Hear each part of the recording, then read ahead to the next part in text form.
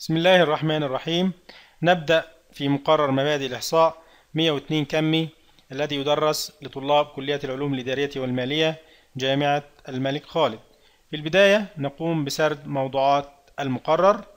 الوحدة الأولى تتناول أساسيات علم الإحصاء. الوحدة الثانية تتناول مقاييس النزعة المركزية. الوحدة الثالثة تتناول مقاييس التشتت. الوحدة الرابعة تتناول مقاييس الالتواء والتفرطح. الوحدة الخامسة تتناول الارتباط الخطي البسيط.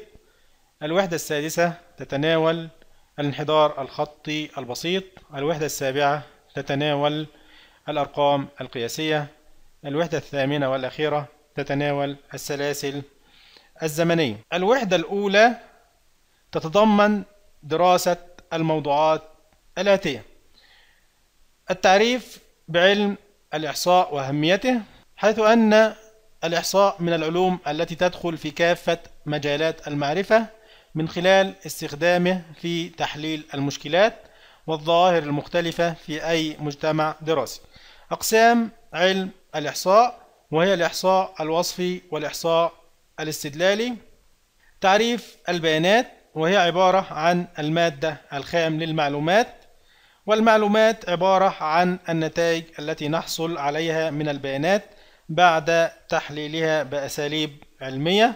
أساليب جمع البيانات يتم جمع البيانات بأسلوب الحصر الشامل أو بأسلوب العينة تعريف المجتمع والعينة والعلاقة بينهما معالم المجتمع وإحصاءات العينة عرض البيانات جدوليا وبيانيا تعريف علم الإحصاء.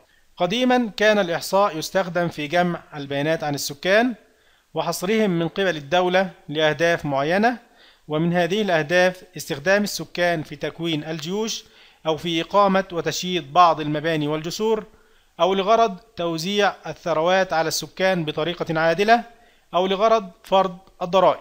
ولكن مع التطور أصبح الإحصاء يستخدم في جمع البيانات عن أعداد المواليد والوفيات ومقدار الثروة والدخل ومقدار الضرائب التي يمكن تحصيلها حيث كان الإحصاء مرتبطا بالمجالات الاقتصادية والاجتماعية الخاصة بتعداد السكان ومعرفة خصائصهم الاقتصادية والاجتماعية.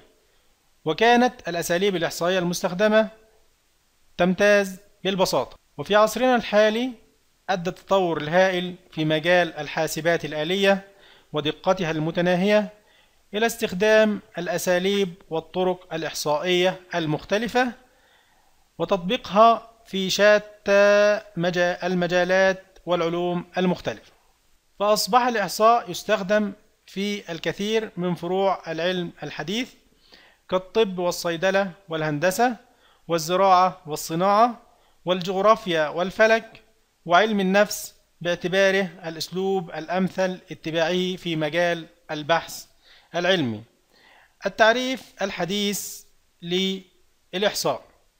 علم الإحصاء هو العلم الذي يهتم بجمع وتنظيم وتلخيص وعرض البيانات وتحليلها بأساليب علمية للحصول منها على المعلومات اللازمة لاتخاذ القرارات المناسبة. من هذا التعريف يمكن تلخيص وظائف علم الإحصاء في الآتي. أولا جمع البيانات. عملية جمع البيانات هي عملية الحصول على القياسات الخاصة بظاهرة معينة. ثانيا تنظيم وعرض البيانات. تنظيم وعرض البيانات هي عملية وضع البيانات في جداول تلخصها وتعرضها بطرق مناسبة لكي يمكن الاستفادة منها بالطرق العلمية. تحليل البيانات هي عملية إيجاد مقاييس تحدد قيمها من البيانات وتعطي دلالات عن الظاهرة محل الدراسة.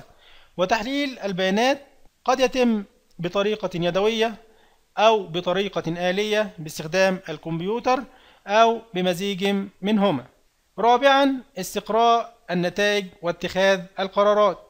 وهي عبارة عن الاستنتاجات التي يتوصل إليها الباحث من خلال تحليله للبيانات وعادة ما تكون على شكل تقديرات وتنبؤات وتعميمات واتخاذ القرارات بالقبول أو بالرفض.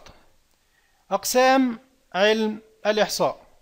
ينقسم علم الإحصاء إلى قسمين أساسيين هما واحد الإحصاء الوصفي وهو عبارة عن الطرق التي تستخدم لتنظيم وعرض ووصف البيانات باستخدام الوسائل الآتية ومنها الجداول والرسوم البيانية وبعض المقاييس الإحصائية البسيطة التي تستخدم لتلخيص البيانات. أي أن الإحصاء الوصفي يهتم بجمع وتبويب وعرض ووصف البيانات وحساب بعض المقاييس الخاصة بهذه البيانات دون الوصول إلى نتائج واستدلالات. الإحصاء الاستدلالي الإحصاء الاستدلالي هو عبارة عن الطرق العلمية التي تستخدم لتعميم النتائج التي حصلنا عليها من بيانات العينة على المجتمع واتخاذ القرارات المناسبة في هذا الصدد أي أن الإحصاء الاستدلالي يهتم باستقراء النتائج واتخاذ القرارات المناسبة.